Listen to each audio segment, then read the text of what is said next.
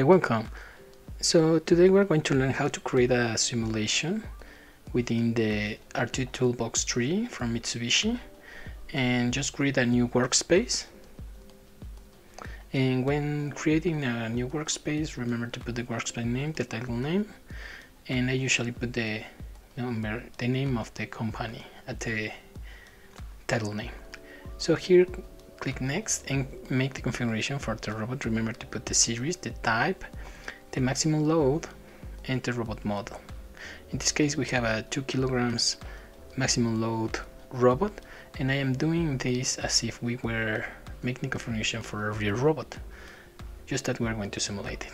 So if you have already your network configuration done you can copy the PC settings or you can try to write the network configuration from the menu. Also remember that the method of connection is TCP IP from Ethernet cable. So when we're clicking finish and window will appear with simulation on it, click on it and if we done everything correctly we will be connected just as in a real robot.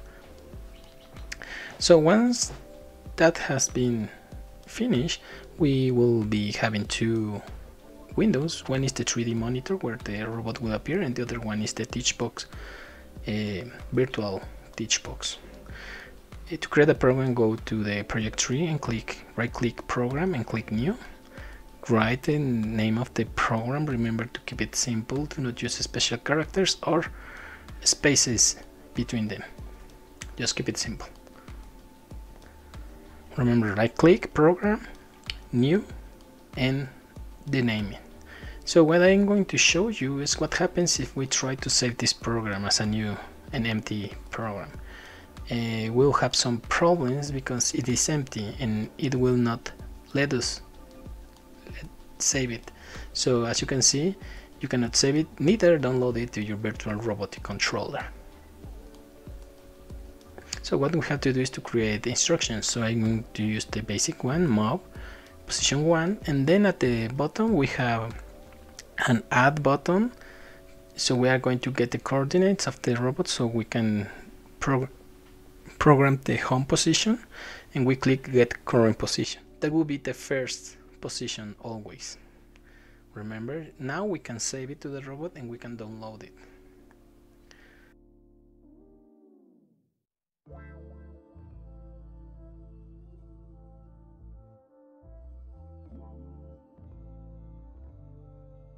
and if you see at the virtual teachbox we have the options like joint tool and coordinates movement. So we can just move the robot. Remember to have your servos on on the teach box and your speed reduce 50% uh, just for security reasons just as we were programming a real robot.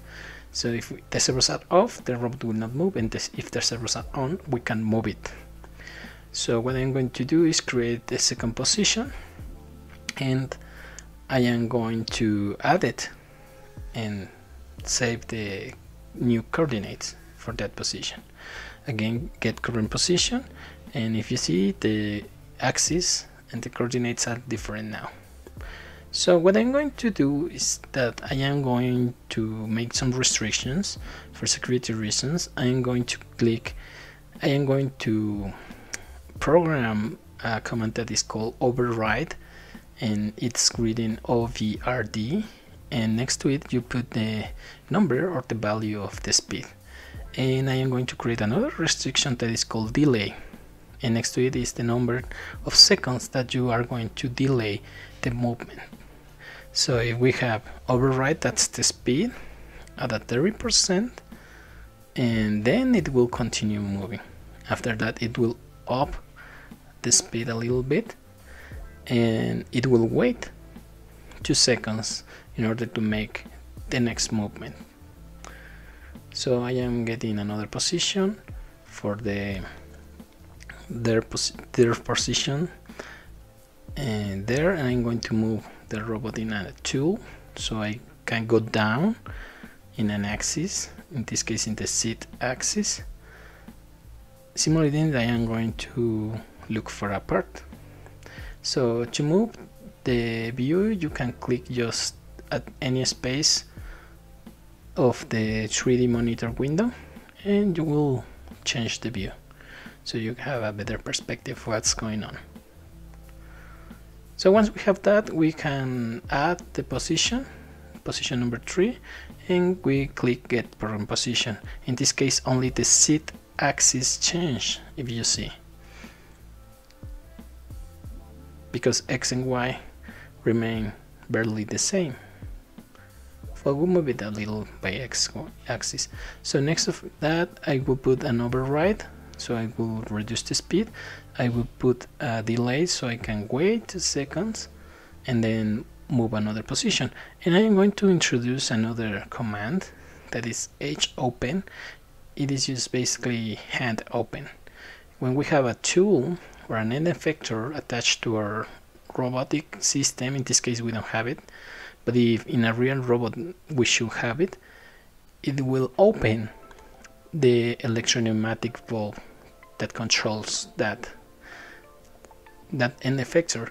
In this case I am putting a number beside of it. It is a 1 and I am telling to activate the electropneumatic valve number 1 if I put a 2 I can activate the number 2 if I put a 3 the number 3 etc so in order to deactivate I have to input another command that's called hclose and the same number of the electropneumatic valve that we open. In this case is 1 so basically these are very easy commands very basic commands in order to move the robot. We are not receiving any signal from the PLC right now. We're just moving and making an automatic movement of the robot. So if you see we have uh, five commands. Right now we have move we have override delay h close and h open. So we have five commands right now so what I'm doing is I can repeat the movements that I already programmed and at the end I will put another command called end what it will do is that it will um, end the program so the robot knows that it can start again.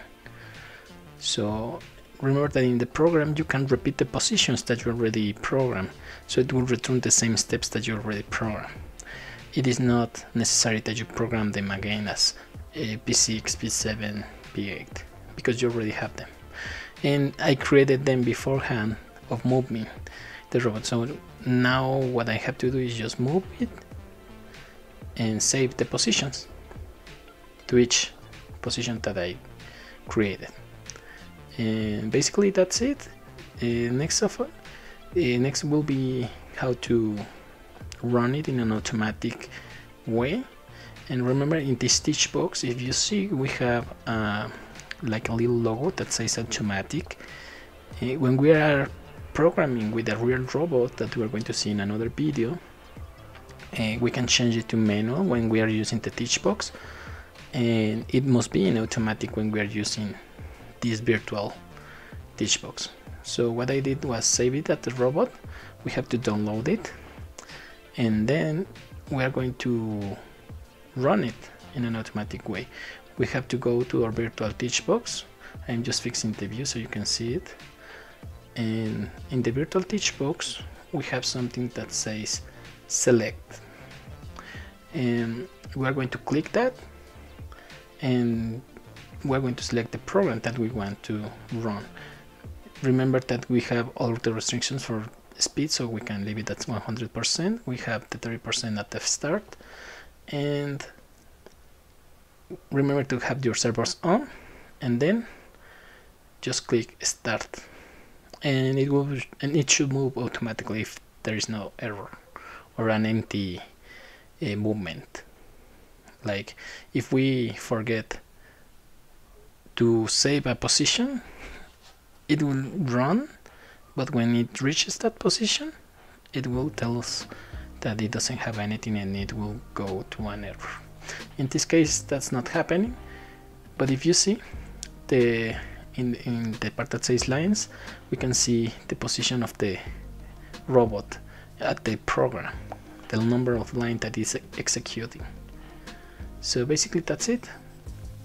So I, I will show you uh, what happens with a complicated robot with a complicated more complicated uh, program and if you see I just click stop and then reset. I reset the position to the first line and I can change also the speed within that icon there. We can jump to a line of the program if we know which line we want to execute.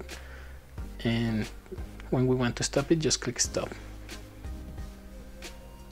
Basically that's it. So let's see another program. This is the one. This is a more complex program but using also these basic commands. So we're repeating basic commands in order to make a more complicated program. And this is like a 200 lines program. And you will see in a moment what we did to move the robot. Actually this is a program made by a student so check it out